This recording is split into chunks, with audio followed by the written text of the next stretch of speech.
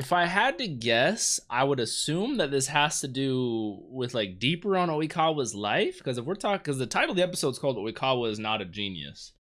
But if we're talking pure skill and volleyball mechanics, technicality, stuff like that, I would definitely say he's a genius. So I don't know what this has to do about.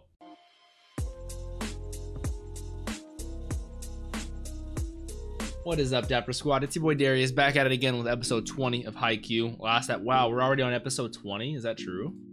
Yes, we are. Last episode, we are starting the match off against Aoba Josai. Um, it wasn't going well at the beginning, but we were able to turn it in our favor just slightly and get on their nerves, get in their head just a little bit. So I'm very excited to see the setter showdown between Kageyama and Oikawa. This is like their personal grudge match, so we should see how that goes down.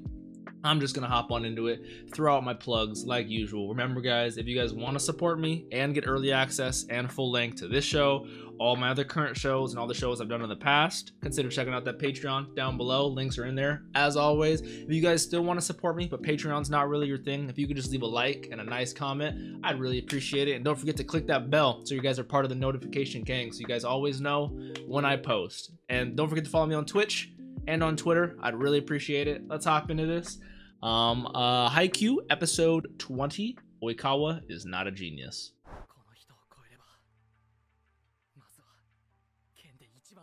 That is true. Oikawa is known as the best. I don't even think setter, right? He's known as the best player in the prefecture. I know that guy from Shiratorizawa is the best ace. I said that. Totally a grudge match of the setters. Feel the grip on that ball. Feel the ball. He's a little overzealous right now. It happens. He's just, you know, he gets into it a little bit. Don't mind, don't mind. Serving. And I love the music. That I love the way they animate him every time, but I love the music. Oh, last second he was able to read that. Still stop it. Nishinoya is disgusting.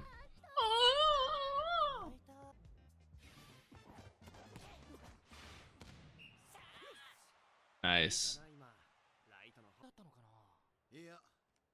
Yeah, me too. But I wonder why. Be only because he did the VOD review. Oh, okay, that makes a lot of sense. Yeah, if your literal backline number one god guardian support can't stop it, then what are you gonna do? Yes, hundred percent agree. Nishinoya easily one of my top favorites.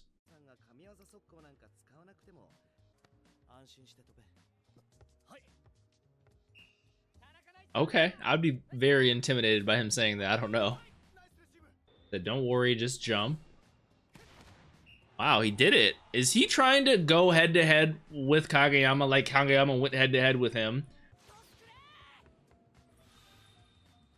What are his eyes saying? Ooh, we tipped it that time.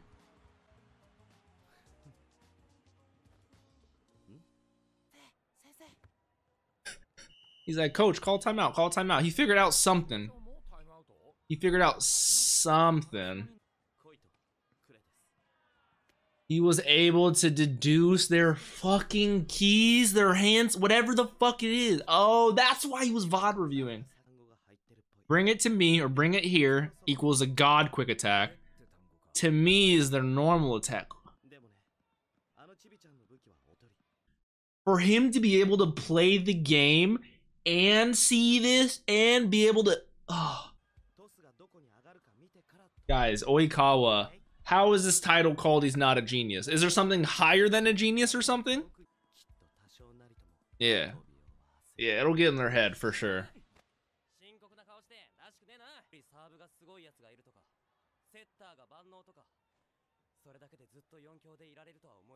That's a very valid point you got to think those two elements do not make you a top four team. You got to still be a good ass team. That's the thing that gets me how much they're thinking about while being able to play. It takes so much mental power. Makes it look like it's a done. Oh, wow. He was actually to. He actually went for it.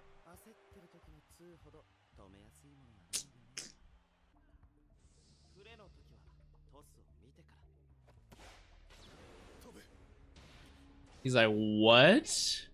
Oh, and he barely got it. Yeah. Don't fuck up the serve this time. Nah, you got this, Kageyama. Ooh, what was that? Oh!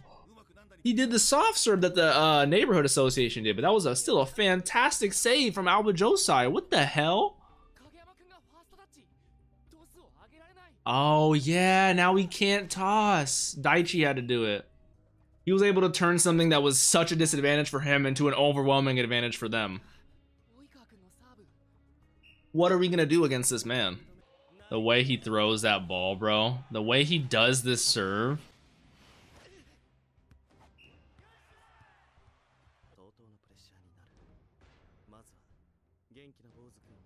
He's so smart. He is so smart. The essence of their attack. That is true. The decoy is useless. Good. Good. He was about to carry their momentum. Yeah, he was about to carry that shit all the way up.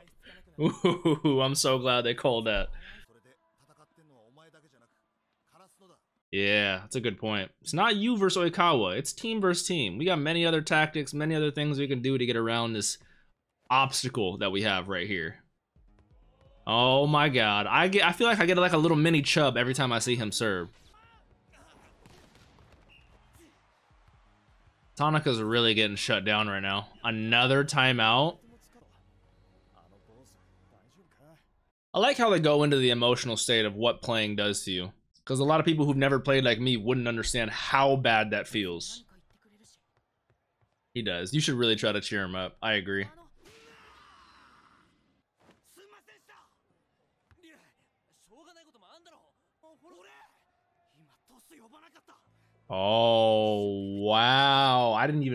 That. Hell yeah. Shouts out Tanaka, bro. Come on. Hell yeah. You have to have so much confidence, self-humility, self-humility, so much dope shit to be able to talk like this.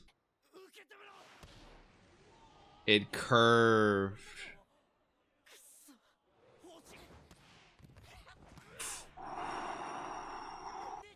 Oh, and he was the one that one touched, or he, he's touched it first. Oh, and then Nishinoya. This is probably the best back and forth I've ever seen in this.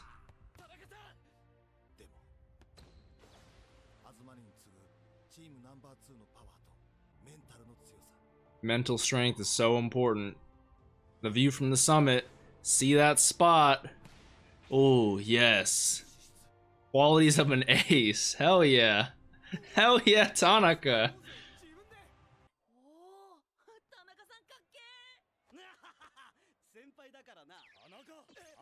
I love their relationship. I also love how Hinata was the one that saved that ball right there.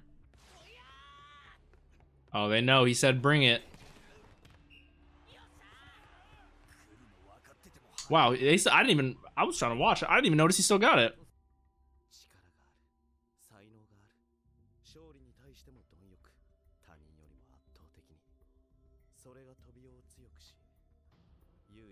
It was his only weakness.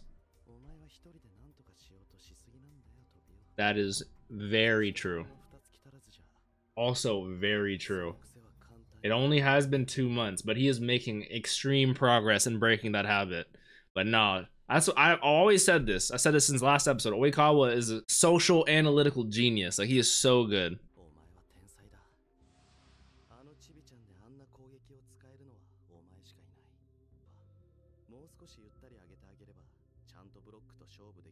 Yeah, Oikawa is so fucking smart. No, he doesn't. And the fact that he's able to see all of this while playing a game, and he is the conductor, so he knows each individual one of his players and exactly what fits to their. Oh my god, bro, this fucking guy. It's like a joust. Is that what they called it, right? A duel? Oh no.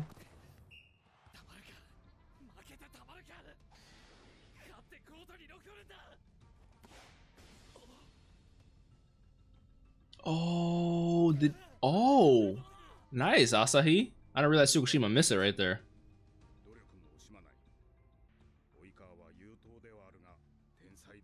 So that's what the title means.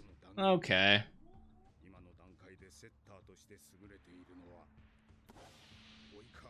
Good. I personally believe with what I've seen, like if I'm just going based off what I've seen, Oikawa is a genius. Not necessarily in talent, which is where they're using the term genius here, but in many other ways. They're taking him out. Oh no. Oh my god, that's gotta hit his mental like a fucking brick. I'm assuming that's what that meant, right? Sugawara with the sign, like switching out number nine. I don't even know what number Kageyama is, but I just have to assume that's what that means. If that is, that's kind of a cool way of calling her switching out, you know, players.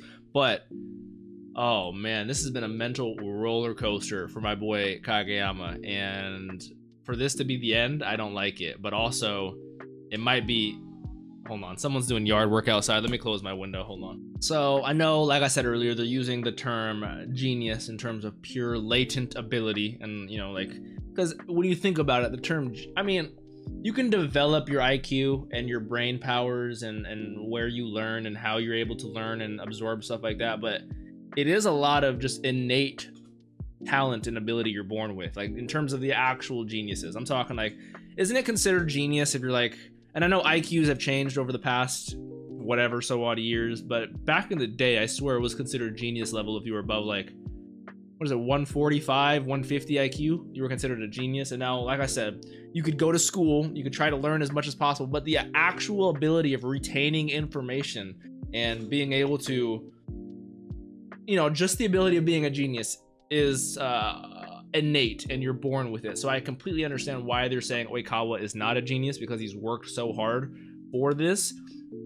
But it's still so unbelievable the things this man can do. Like the way he's able to already know his team to a T.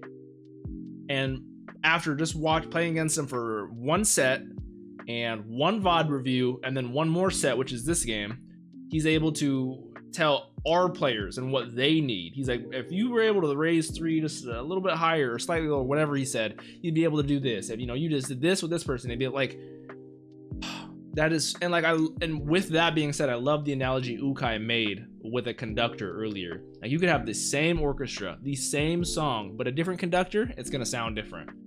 So the fact that like Oikawa is the best of the best to be able to shape the team, like oh, it's so crazy. I, this guy I don't know what's gonna happen. Obviously, I haven't seen the show. I know there's season two, three, and four, and I know there's still Haikyuu somehow coming out called like To the Top or something like that. But I do know sometime in season four, because I remember he was trending on Twitter like worldwide. Like people love Oikawa. Like I know something's gonna happen with him in season four. Something, at least something. Or season five, I don't know, somewhere around somewhere in the new Haikyuu. Some something's gonna happen with Oikawa. Cause that boy, I like that guy. I like I like Oikawa. He makes me want to be smarter. Like he makes me want to take pride in the stuff that I do because like it's all internal too. And and that's what like if you were to go into the head of a professional Counter Strike player, any professional player in, in terms of an esport, and you were able to go into their brain, they're thinking of shit like this. Like they're thinking of the very small, minute details that the average person would not even dream to think of. But that's what gives them the edge. That's what makes them the top 0.1% of the world, you know? Whereas it's just crazy. Like I just I I love it makes me want to be better at stuff. It really does. Is that weird? It makes me want to be better at things. But I appreciate y'all. I'm gonna head out of here. I gotta go get some lunch and edit some videos. I'll catch y'all soon. Thank you, Dapper Squad. Peace out, you guys. Have a great day. Love you.